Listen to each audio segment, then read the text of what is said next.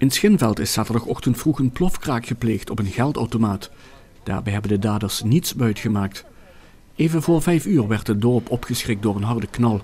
De klap bij de geldautomaat van de Rabobank aan de Bleekplaats was zo hevig dat bij een woning aan de overkant de ruiten eruit vlogen. De daders hadden explosieven bevestigd aan de toegangsdeur van de mobiele unit waarin de automaat staat. Toen bleek dat ze geen toegang kregen tot de ruimte, sloegen ze op de vlucht in een donkerkleurige auto in de richting van de Agewater.